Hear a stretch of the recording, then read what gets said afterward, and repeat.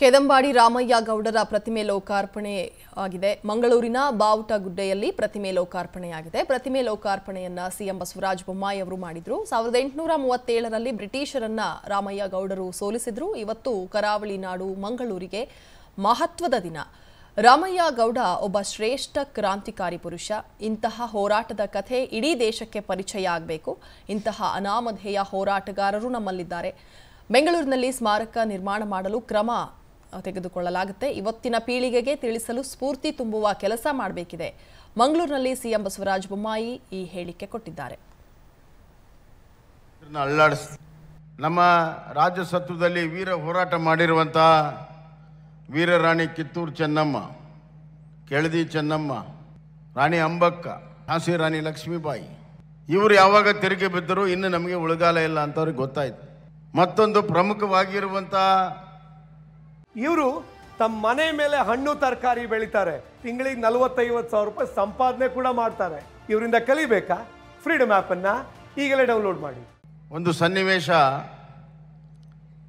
ಮತ್ತೊಮ್ಮೆ ರೈತರು ತಿರುಗಿ ಬಿದ್ದಿದ್ದು ಬಾರ್ಡೋಳಿಯ ರೈತ ಸತ್ಯಾಗ್ರಹ. ಸರ್ದಾರ್ ವಲ್ಲಭಭಾಯಿ ಪಟೇಲ್ ಅವರ ನೇತೃತ್ವದಲ್ಲಿ ನಡೆದಂಥ ರೈತ ಸತ್ಯಾಗ್ರಹ ಬ್ರಿಟಿಷರನ್ನ ಅಳ್ಳಾಡಿಸ್ತು ತದನಂತರ ಪಶ್ಚಿಮ ಬಂಗಾಲದ ಚಂಪಾರನ್ನಲ್ಲಿ ಈ ಚಹಾ ತೋಟದ ಕಾರ್ಮಿಕರು ಬ್ರಿಟಿಷರ ವಿರುದ್ಧ ತಿರುಗಿ ಬಿದ್ದರು. ಇಂಡಿಗೋ ಸತ್ಯಾಗ್ರಹ. ಇದು ನಂತರ ಹತ್ತು ಹಲವಾರು ಘಟನೆಗಳು ನಡೆದಿದೆ. ಯಾವಾಗ ದುಡಿಯುವ ವರ್ಗ ಬ್ರಿಟಿಷರ ವಿರುದ್ಧ ತಿರುಗಿ ಬಿತ್ತೋ ಬ್ರಿಟಿಷರು ಎಚ್ಚೆತ್ತುಕೊಂಡ್ರು. ಹೀಗಾಗಿ ಸ್ವತಂತ್ರ ಕೊಡುವಂಥ ಚಿಂತನೆಯನ್ನು ಪ್ರಾರಂಭ ಮಾಡಿ. ಅನಾಮಧೇಯ ಸ್ವತಂತ್ರ ಹೋರಾಟರ ಸಂಖ್ಯೆ ಸಾವಿರಾರಿದೆ. ಯಾರೂ ಕೂಡ ಅವರ ಬಗ್ಗೆ ಚಿಂತನೆಯನ್ನು ಮಾಡಿಲ್ಲ.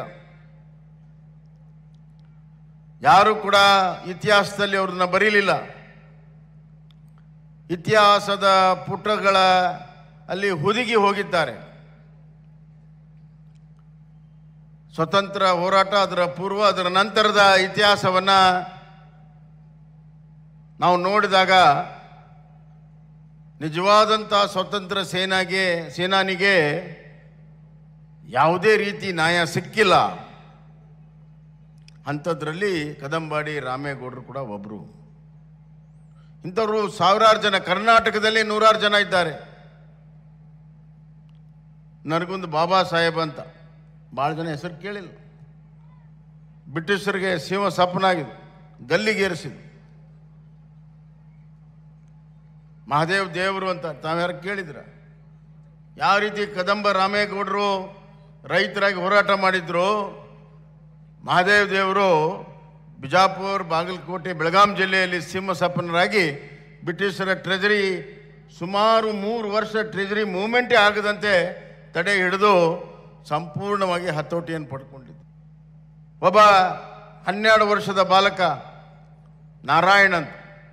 ನಾರಾಯಣ್ ಡೋಣಿ ಹಾಲು ಮತಕ್ಕೆ ಸೇರಿದವನು. ಹನ್ನೆರಡು ವರ್ಷದ ಬಾಲಕ. ಹನ್ನೆರಡು ವರ್ಷದ ಬಾಲಕ ಬಂಧುಗಳೇ, ಒಂದೇ ಮಾತ್ರ ಹೇಳಬೇಡ ಅಂತ ಬ್ರಿಟಿಷರು ಹೇಳಿದರು. ನಾನು ಹೇಳೇ ತೀರ್ತೀನಿ ಅಂತ ಹನ್ನೆರಡು ವರ್ಷದ ಬಾಲಕ ಎರಡು ತಾಸು ಒಂದೇ ಮಾತ್ರ ಹೇಳಿದ್ದಕ್ಕಾಗಿ ಅವನಿಗೆ ನೇರವಾಗಿ ಎದಿಗೆ ಗುಂಡು ಹೊಡೆದ್ರು ಹನ್ನೆರಡು ವರ್ಷದ ಬಾಲಕನಿಗೆ.